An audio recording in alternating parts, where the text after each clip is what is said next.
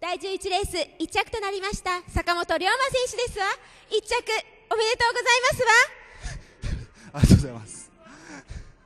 鋭いまくりでしたわね。そうですねもう先行するぐらいなつもりでかけるつもりだったんでよかったです。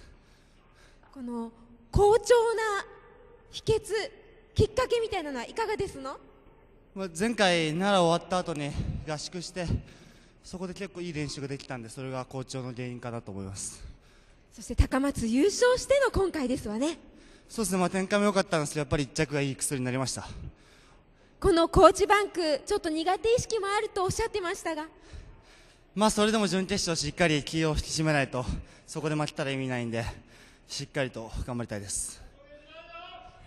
坂本龍馬選手名前のだけにコーチバンクって感じですわね そうですね。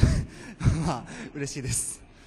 さあそして今日の一着インタビューは私あかり姫のインタビューいかがですの？なんてちょっと喋り方が気持ち悪いですね。ことをおっしゃるんですの？もう龍馬選手ったらシャイだから。まあたくさんのねお客様の声援も飛んでましたがいかがですの？はいもう嬉しいです。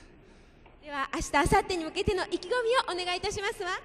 えっと明日からもしっかり自分らしくスピード出せるような走りするんで応援してください。おめでとうございました。坂本龍馬選手でしたわ。